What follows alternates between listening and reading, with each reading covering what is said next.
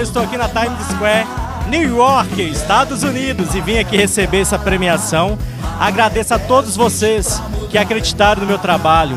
É muito gratificante receber esse prêmio de outro país. Um grande orgulho ser o único candidato a deputado federal pelo Brasil, por Minas Gerais, a ser reconhecido pelos trabalhos sociais, defendendo a criança, a cultura, os idosos e o esporte. Muito obrigado e que Deus abençoe a todos vocês. Olha que lugar maravilhoso!